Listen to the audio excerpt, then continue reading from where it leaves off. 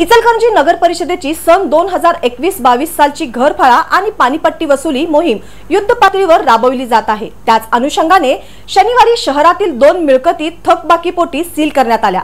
आजवर एकूण पाच मिळकती सील करण्यात आल्या असून त्यापैकी दोघा मिळकतधारकांनी कराची रक्कम भरणा केली आहे. इचलकरंजी नगर परिषदेच्या कर वसुली विभागाकडून एक मार्च पासून वसुली मोहीम तीव्र केली आहे. थकबाकी असलेल्या मिळकतीवर कारवाई करण्यात येत असून शनिवारी नदीवेस नाका परिसरातील हेमलता साळुंखे काजल टेक्सटाईल यांच्या दोन मिळकती एक पॉईंट साठ लाख रुपयांच्या थकबाकीसाठी सील केल्या. फेब्रुवारी अखेर जप्ती वसुली पथकाने एकवीस कोटी ब्याऐंशी लाखांची वसुली केली आहे. गत दोन वर्षात कोरोना महामारी व महापुराच्या संकटामुळे वसुलीवर परिणाम झाला होता. मात्र यंदा नगरपालिकेची आर्थिक परिस्थिती ही ढासळली असल्याने वसुली कारवाई तीव्र करण्यात आली आहे. यंदाच्या वर्षी एकसष्ट कोटींची थकबाकी होती त्यापैकी एकवीस कोटी ब्याऐंशी लाखांची वसुली करण्यात आली आहे. तर मार्च अखेर चाळीस कोटी जमा होणे गरजेचे असल्यामुळे वसुली पथके युद्ध पातळीवर कार्यरत करण्यात आली आहेत.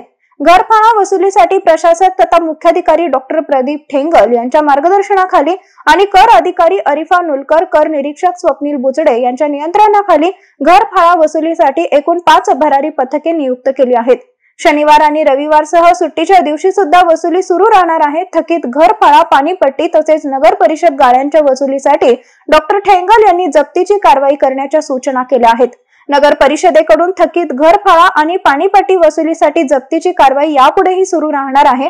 जे मोठे थकबाकीदार आहेत त्यांच्या नावाचा फलक शहरातील मध्यवर्ती चौकात लावण्यासह वृत्तपत्रातून प्रसिद्ध केली जाणार असलेले मिळकती धारकांनी घरपाळा पाणीपट्टी आणि गाळेधारकांनी थकीत भाडे भरून जप्तीसारखे कटू प्रसंग टाळावेत असे आवाहन प्रशासक तथा मुख्याधिकारी डॉक्टर प्रदीप ठेंगल व कर अधिकारी अरिफा नुलकर यांनी केलं आहे.